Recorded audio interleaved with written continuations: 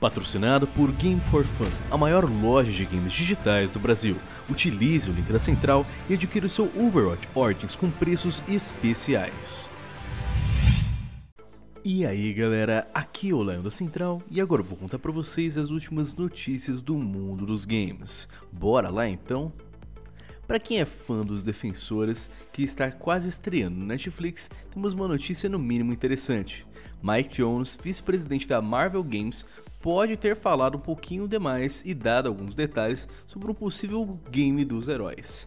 O vice-presidente havia sido questionado sobre como é feita a escolha de personagens que merecem games e fez uma declaração bastante sugestiva.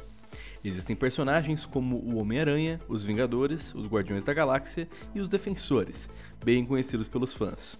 Queremos ter certeza de que iremos entregar grandes jogos destes personagens pode ter sido uma frase mal expressada. É, pode. Porém, os heróis estão com o seriado a lançar e com uma hype muito alta. O jogo dos defensores não seria lá algo tão inesperado, se você considerar o fator de que eles estão muito em alta no momento. Para quem é fã de Rick e Morty, fica a dica. A Psynix e a Adult Swim decidiram fazer uma parceria e presentear os fãs de Rocket League no próximo mês com novos itens de Rick e Morty, e sabe qual é o melhor dessa história? Será tudo disponibilizado de graça. Os itens estarão disponíveis a partir de 5 de julho, podendo ser encontrados como parte dos espólios comuns após partidas online ou offline. Cheats nunca foram novidades no mundo dos games, e Player Unknown's Battleground não escapa dessa regra. Segundo a desenvolvedora, já foram feitos cerca de 25 mil banimentos de trapaceiros somente nestes últimos 3 meses. Além dos criadores do jogo banirem os desonestos, também estão criando uma atualização que impede o uso de ferramentas externas. Os pets também estão lidando com cheats propiciadas pelo lag de conexões, dentre outras demais melhorias. Até mesmo o quadro de pontuação do game está resultando em contas desonestas. A Player Unknown, líder do projeto, está trabalhando em conjunto a BattleEye para acrescentar mais proteção e detecções contra trapaças. O sistema anti-cheats é o mesmo que é utilizado em Rainbow Six Siege, DayZ, Ark Survival Evolved e também em Conan Exiles. Sendo um híbrido entre um simulador e um arcade, Project Cars 2 é bem fiel ao gênero de corrida e garante entregar muito conteúdo adicional em suas edições especiais.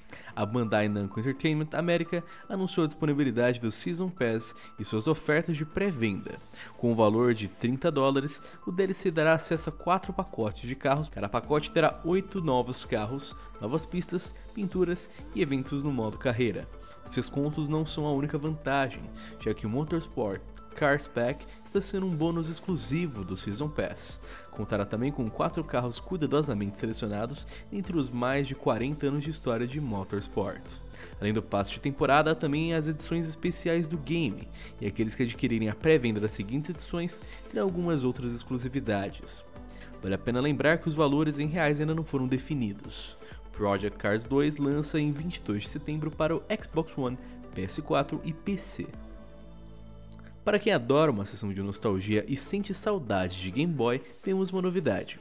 O Smart Boy, um acessório que transformou seu smartphone em um Game Boy, já está em pré-venda na Funstock Retro por 60 libras, o que na cotação atual é aproximadamente uns 258 reais, uma vez que ele funciona melhor no Galaxy S8. Certamente é possível utilizá-lo com outros aparelhos, desde que eles tenham a mesma entrada na parte de baixo e que as telas meçam entre 5.2 e 6 polegadas. Também houve a menção que o acessório contará com um suporte para qualquer tipo de cartucho da Game Boy e também irá apresentar uma bateria que dura até 5 horas para garantir tranquilamente as suas jogatinas. Você sabia que Piratas do Caribe e Beyond Good and Evil 2 têm uma coisa bem peculiar em comum? E quando eu digo peculiar, é bem peculiar mesmo. Em uma foto oficial do game, Mr. Tim, a pirata cega e a senhora do Oceano Pacífico, que aparece em Piratas do Caribe no fim do mundo, está presente na arte, sobrevoando os demais personagens. Não há nenhuma explicação grandiosa para a imagem ou mesmo para o enredo do game. Certamente não é a mesma pirata do filme da franquia do Capitão Jack Sparrow e pode ter sido apenas uma ilustração copiada e colada à arte, ou mesmo um recorte direto do filme, sem ser uma criação original de fato. Ok, dá para esperar algum tipo de fanart, mas como assim ter uma colagem de pirata e uma foto oficial da Ubisoft? não faz sentido. A Ubisoft não pronunciou nada mediante a arte e a personagem também não aparece no trailer de anúncio, ou seja, só nos resta aguardar para saber do que se trata. Bem, piratas por piratas, a única diferença é que a Tim aparentemente vai ser uma pirata espacial de agora em diante. Não é um hábito dos brasileiros, mas pelo mundo afora utiliza-se muito PayPal como forma de pagamento para compras de jogos e conteúdos dos consoles PlayStation. Contudo, está havendo uma grande anomalia com o serviço de pagamento e com ela uma consequência gravíssima, que são os banimentos dos jogadores da PlayStation Network. Relatos constam que só vem acontecendo no Reino Unido e causando inúmeros problemas por lá. PayPal fez uma contestação de compras em grande escala, o que fez os jogadores receberem reembolso, fazendo a situação do usuário ficar devendo para a Sony, que está banindo essas contas com esse problema. Apesar de estar sendo somente no Reino Unido, fique de olho na sua conta e verifique se está tudo de acordo. Há inúmeras reclamações, mas nenhuma das empresas se manifestou quanto ao fato. Se você usa PayPal como forma de pagamento, é melhor ficar atento. Desde seu lançamento, a marca Xbox nunca teve sucesso absoluto no Japão, porém a Microsoft jamais deixou de dar suporte aos japoneses. O Xbox One X está chegando no final do ano, e segundo Phil Spencer, chefe da divisão do Xbox, o novo console será vendido por lá o mais próximo da data mundial, que é 7 de setembro. O Xbox One teve apenas 80 mil unidades vendidas até hoje no Japão, e com números tão baixos, muitos questionaram se a empresa iria insistir em apostar na Terra do Sol nascente. Phil apenas disse que nunca desistirá do Japão. A afirmação foi feita em uma entrevista a Famitsu, a qual foi questionado qual a visão da Microsoft sobre o país. Além da afirmação, foi mencionado também que o Big Boss da Xbox informou que os desenvolvedores japoneses estão bem animados e que a empresa ainda precisa se esforçar um bocado para agradar os fãs nipônicos. Destiny 2 parece querer melhorar todos os aspectos do primeiro game, dando ênfase na questão da narrativa, que era justamente um dos maiores calcanhares de Aquiles do antecessor.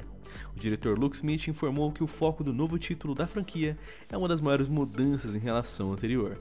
Segundo o diretor, a campanha principal será o destaque, mas que também haverão missões paralelas e terão as secundárias que trarão mais profundidade à história. Smith alegou que a maneira com a qual será abordada a narrativa de forma diferenciada pode atrair novas pessoas para a franquia. É, Destiny 2 terá uma história coerente. Será que eu ouvi um aleluia dos fãs? Enfim, galera, essas foram as notícias de hoje. Eu espero que vocês tenham gostado do nosso vídeo. Se você gostou, não se esqueça de deixar aquele like para fortalecer, compartilhar a central com seus amigos e, é claro, de clicar no nosso sininho de notificações para não perder nenhum upload. Estamos no Facebook, Twitter, Discord, Patreon e Apoia-se. Cheque a Game for Fun para não perder nenhuma das promoções incríveis que sua maior loja de games digitais do Brasil pode te oferecer. Galera, que foi o Lion, muito obrigado pela sua atenção, pela sua paciência. Eu espero que vocês tenham um ótimo dia e uma boa sorte nos campos de batalha. Até mais.